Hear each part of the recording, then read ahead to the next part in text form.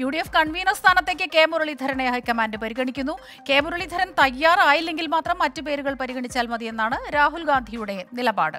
അതേസമയം സംസ്ഥാന ഘടകത്തിൽ ബൂത്ത് തലം മുതലുള്ള പുനഃസംഘടന ഒരു വർഷത്തിനുള്ളിൽ പൂർത്തിയാക്കുകയാണ് പാർട്ടി ദേശീയ നേതൃത്വത്തിന്റെ ലക്ഷ്യം. K Sudhakaran V D Satheesan ടീമിൽ മൂന്നാമനായി കെ മുരളീധരൻ തോറ്റെങ്കിലും നിയമത്തെ വെല്ലുവിളി ഏറ്റെടുത്ത കെ മുരളീധരനെ കേരളത്തിലെ ഉന്നത മുന്നണി നേതൃത്വത്തിൽ എത്തിക്കാനാണ് രാഹുൽ ഗാന്ധിയുടെ നീക്കം. കെ മുരളീധരന്റെ മനസ്സറിയാൻ നിർദ്ദേശം നൽകിയ രാഹുൽ ഗാന്ധി മുരളീധരൻ സന്നദ്ധനല്ലെങ്കിൽ മാത്രം മറ്റൊരു പേരിലേക്ക് നീങ്ങിയാൽ മതിയെന്ന നിലപാടിലാണ്. പ്രധാന പാർട്ടിയായ കോൺഗ്രസിന് വലിയ വിട്ടുവീഴ്ചകൾക്ക് വർഷങ്ങളായി മുന്നണിയിൽ വഴങ്ങേണ്ടി വരുന്നു. അഞ്ചാം മന്ത്രി മുതലുള്ള ഇത്തരം വഴങ്ങിക്കൊടുക്കലുകൾ കോൺഗ്രസിന് വലിയ തിരിച്ചടി ഉണ്ടാക്കിയെന്നാണ് ദേശീയ നേതൃത്വത്തിന്റെ വിലയിരുത്തൽ. ഈ സാഹചര്യത്തിൽ കെ മുരളീധരനെ കൺവീനറാക്കുക വഴി മുന്നണിയിൽ കോൺഗ്രസിന് പിടിമുറുക്കാനാകുമെന്ന് കോൺഗ്രസ് ദേശീയ നേതൃത്വം കരുതുന്നു.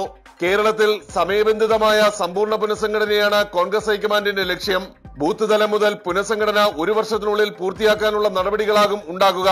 പോഷക സംഘടനകളുടെ നേതൃത്വത്തിലും ഉടൻ മാറ്റമുണ്ടാകും. R Radhakrishnan twenty Delhi.